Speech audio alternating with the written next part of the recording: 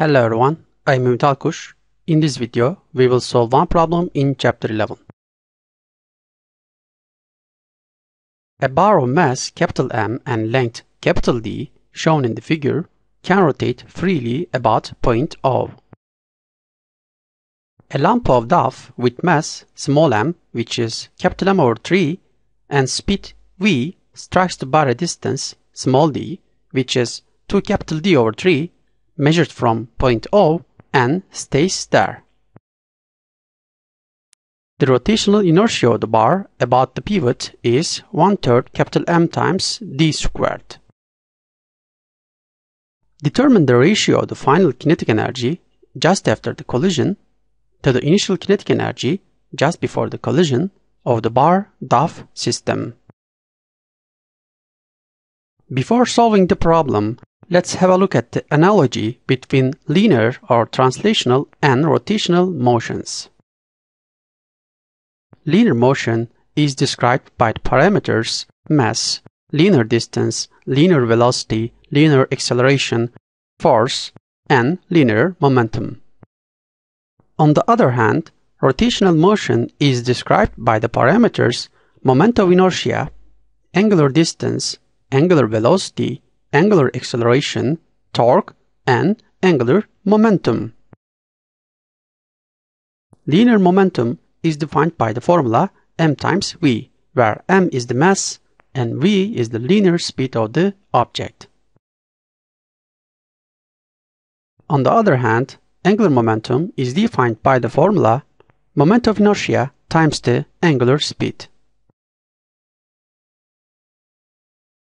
Kinetic energy of an object under linear motion is defined by the formula 1 half mass times the linear speed squared. If we multiply and divide this formula by m, we obtain 1 half mv squared over m. Since mv is linear momentum, then we obtain p squared over 2m. Similarly, kinetic energy of the rotational motion is 1 half i omega squared. If we multiply and divide this formula by i, we obtain 1 half i omega squared over i. Since i omega is the angular momentum, we obtain kinetic energy of the rotational motion as L squared over 2I.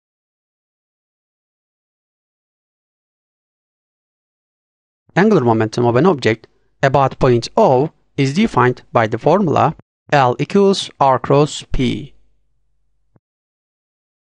By the right-hand rule, the direction of the angular momentum is towards you. Because of the cross product, angular momentum has the magnitude r times p times sine theta, where theta is the angle between p and r.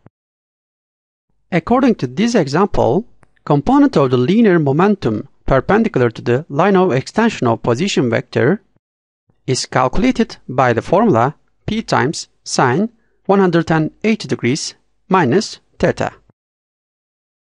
If we use the trigonometric identity here, since sine 180 degrees is 0 and cosine 180 degrees is negative 1, then we obtain p perpendicular as p times sine theta. Then the magnitude of the angular momentum is found by the formula r times p perpendicular. Linear momentum is defined by the formula m times v. Because mass is a scalar quantity, then p and v have the same direction. Therefore, p perpendicular becomes m times v perpendicular. As a result, magnitude of the angular momentum L becomes r times m times v perpendicular.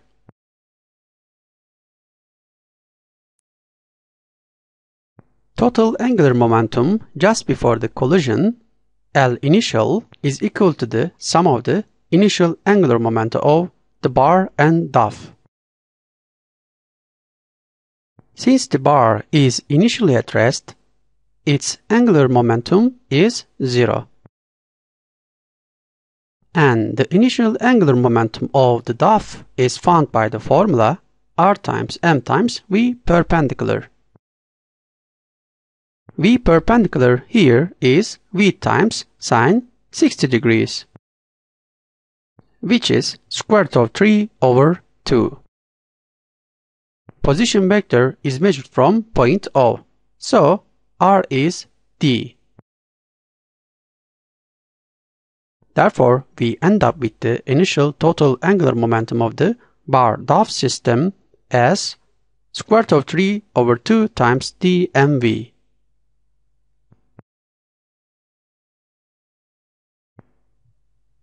Torque has the formula R cross F. Since force F has the formula dp over dt, we can write d over dt R cross P, since dr over dt is 0. Here r cross p is the angular momentum, therefore net torque becomes dl over dt.